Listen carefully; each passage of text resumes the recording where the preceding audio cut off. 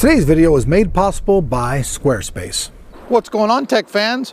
Well, it's me, Elric, here on Tech of Tomorrow. And first off, I gotta say, I think that you people on the East Coast are much tougher than us people out here in Cali. Because when it drops a few degrees out here, like honestly, it was like 90 yesterday and like 70 today, I'm freezing. Now I know you guys in the East Coast are going, sissies! But man, in California, 20 degrees is a lot, and I'm actually freezing at 68 degrees. I know, it's crazy. So what are we doing here on Tech of Tomorrow? Well, today we're gonna bring you guys the Gear 2 from Samsung. Now you guys all remember, we got the original Gear before, we did some stuff with it. So now we're gonna bring you the unboxing, what's it's all about, then we're gonna take it to the gym and test it out just like we did before and see, hey, what this thing's all about. So first off, let's start out with the box. We're just like the S5, it's made out of recycled material and that soy ink. Not a lot to this box anyway, it's just got, you know, it's basically four little corners.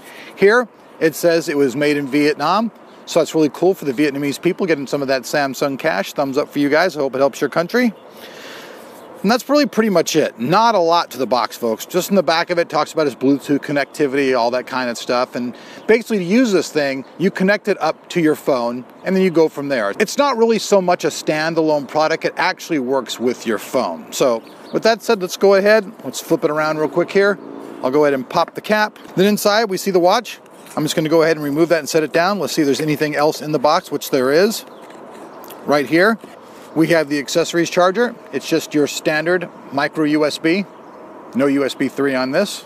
We'll set that down. Now, next up is something really kind of weird, and from what my friends have been saying, this is kind of a pain in the ass. Let me get this out of here. This is actually the charging module.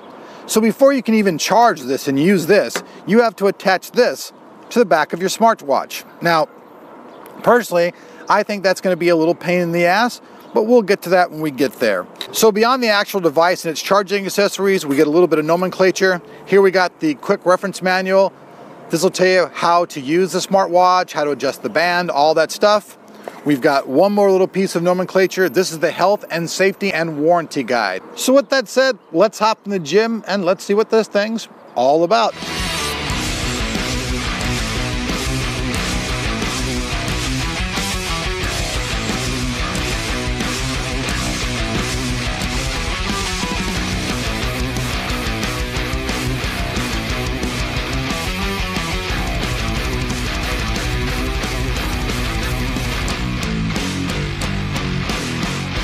Buddy. So there you have it. We were in the gym. Now, I just got to say a few things about this smartwatch. A, for one thing, it was a lot easier to use actually than the S5. You guys saw how easy it was to set it up.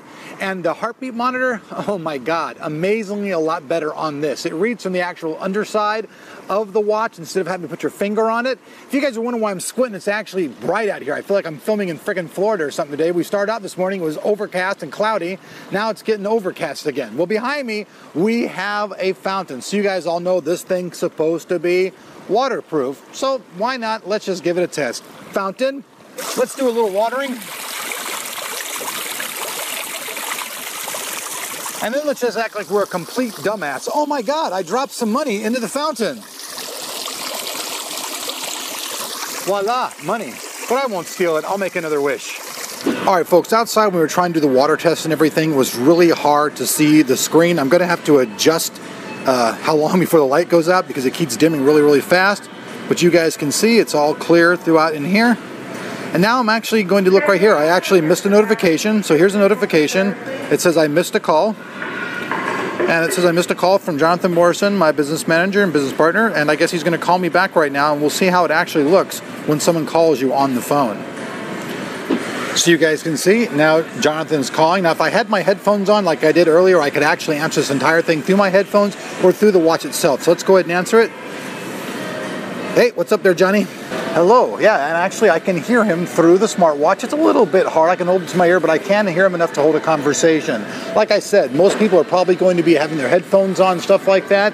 I plan on using this for mainly traveling, doing my exercise, the gym, and mainly just walking the dog and stuff like that. But so far, it seems pretty interesting, and a lot of the features seem a lot more intuitive straight ahead than they were on the S5. So, we've been to the gym, we've been to a pond, kind of dove in, got that thing all wet.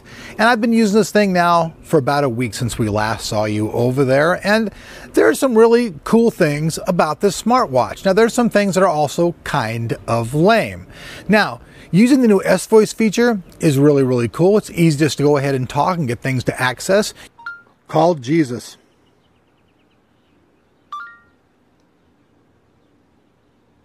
Calling Jesus Bueno G.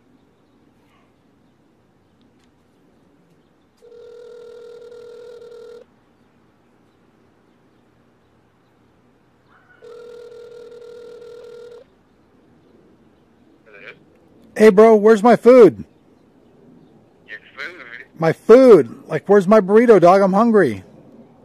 I still gotta go get it. What? Dude, I thought you were a Mexican. What happened? I was really craving a burrito, sir. I am a Mexican. It just has to mix it weight.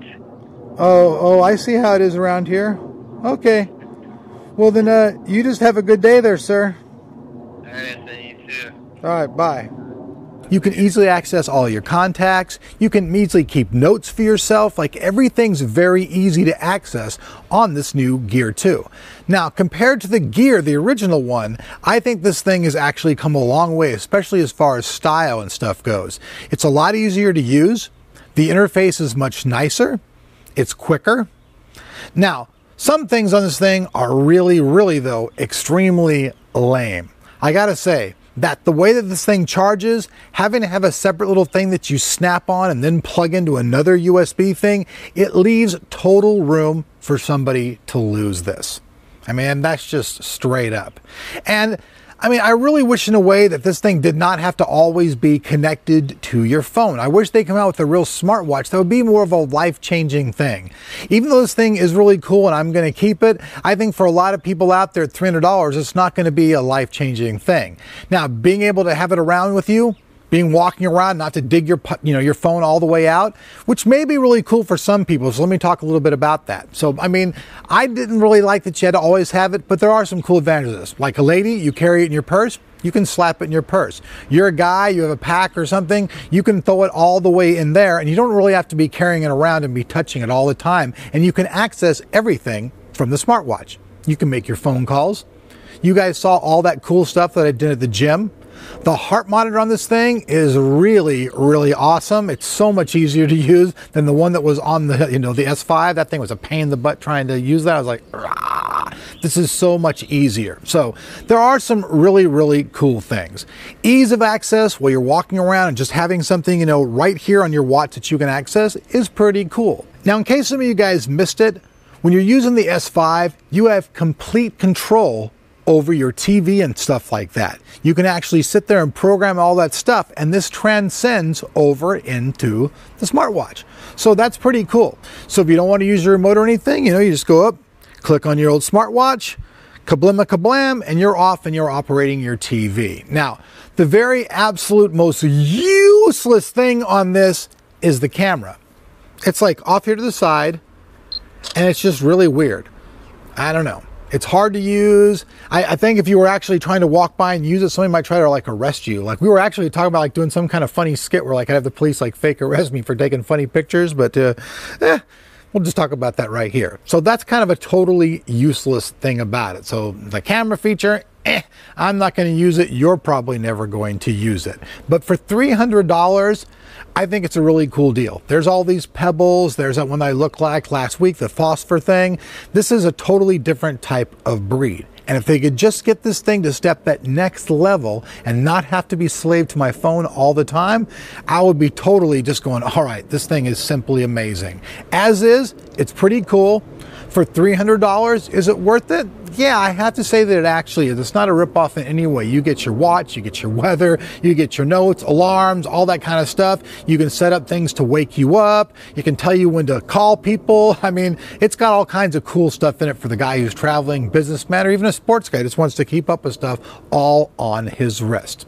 Now, before I bounce on out of here, I want to give a special shout out once again to the people over at Squarespace. Now, all you guys out there always asking how you can support us and how you can check out our music. Well, we made our music website using Squarespace with over 20 different customizable themes and templates that you can use all drag and drop action. This is one really killer, incredible way to get your media website up and rolling quick. And what's even cooler, I know a lot of people don't have a normal schedule, so these guys have incredible 24 hour customer service. So you're one of those New Yorkers in the city that never sleeps? Hey, there'll be somebody there at tech support to answer your call and help you get through those difficult times of setting up your website. So if that sounds good to you, check this out. You can get even more savings. At the checkout counter, enter the code TOT. You get a free trial period, and if you want to keep it, you get 10% off of the price. Awesome stuff. So that's it, folks. That's about it for this. I hope you guys like this video. We're trying to bring these things more and more real life and more life usage to you folks because I mean that's probably better because at the end of the day, you know, using is better than just going. So hey, peace out. Love you guys. Down below the like button will be all the information on this. So if you guys are looking about getting more information about this, looking to purchase one, or just checking out more information about it, that will all be down there below that like button. And on that like button, I want you guys to go crazy on it. I want you guys to act like you're hungry caveman who are just saw your first food.